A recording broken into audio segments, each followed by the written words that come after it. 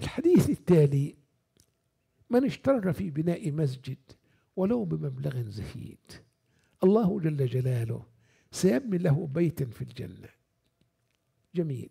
ماذا لو اشترك في صيانة أو تجديد أو إصلاح مسجد قديم كشراء سجاد عمل أسفلت جديد لموقف السيارات شراء ميكروفونات سماعات جديدة أو مثل ذلك؟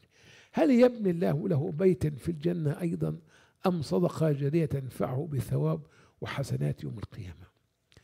أولا نقول من شارك في بناء مسجد كان له من الأجر على قدر مشاركته تأسيسا أو تجديدا.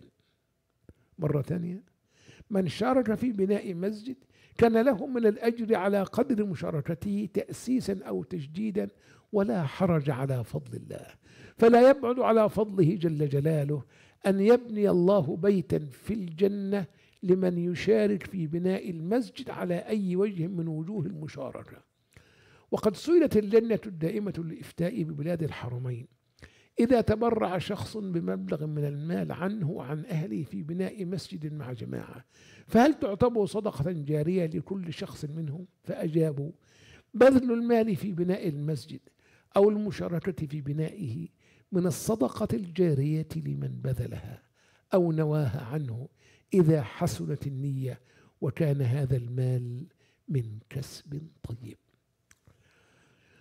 اللهم اهدنا سواء السبيل يا رب وقنا عذابك يوم تبعث عبادك يا رب العالمين.